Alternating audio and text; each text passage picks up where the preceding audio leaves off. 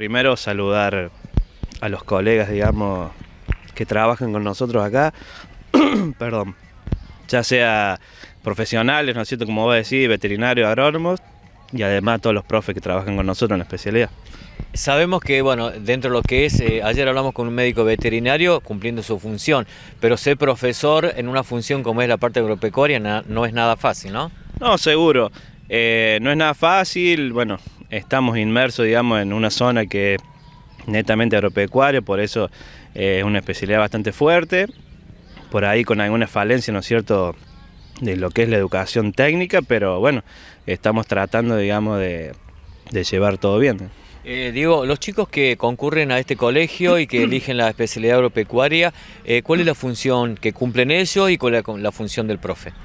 Bien, nosotros, bueno, por ser por ahí escuela pública, la idea es tener chicos hijos de productores. No es así como, como tenemos en este caso, pero gente sí eh, vinculada a lo que es la parte agro, digamos, ¿sí? ya sea los padres, no hace falta que sean productores, sino trabajadores de ese sector. Bueno, la idea de la escuela técnica es que puedan salir eh, con una base, digamos, de los trabajos que se hacen, digamos, en, en el campo, digamos, ¿sí? Entonces, bueno, la idea es por eso de escuela técnica, desde primer año, arrancar con lo básico hasta llegar a lo profesional, que sería en séptimo año. Sabemos que aquí se ha trabajado desde hace muchísimo tiempo con la, eh, la producción, digamos, por ejemplo, de huevos, de ponedoras, eh, la producción también de conejos y otras especies más. Sí, eso es eh, la parte granja, digamos, que es lo que trabajamos por ahí con los chicos del ciclo básico, que son los más chicos. Eh, de primero a tercero. Y después, como te decía, lo que es la parte, digamos, de la especialidad de cuarto a séptimo, ya es un trabajo más especializado, digamos, lo que es la parte rural, lo que es campo.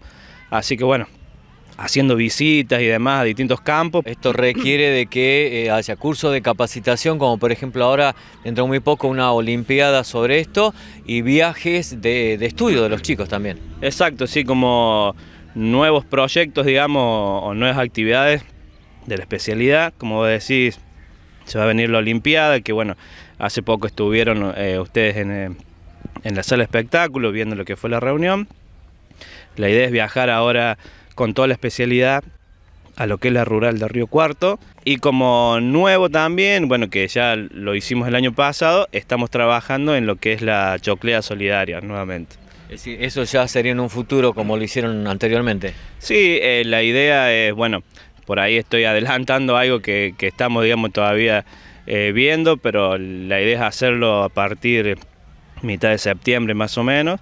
Entonces, bueno, estamos en reunión con las otras instituciones y con la gente que organiza, digamos, lo que es la chocleada y bueno, la idea es volver a hacerlo. Eh, por último, si hablamos de hoy, justamente de este tiempo, eh, ¿se está llevando a cabo alguna actividad que tenga que ver con, gallinas, con conejos? Sí, las mismas actividades de todos los días, eh, trabajar en la granja, lo que es el alimentado, digamos, los animales de granja, conejos, gallinas, lo que es la parte de huerta y además estamos justamente hoy trabajando con lo que es la la materia instalaciones agropecuarias, bueno, donde están trabajando los chicos haciendo un trabajo de albañilería y demás.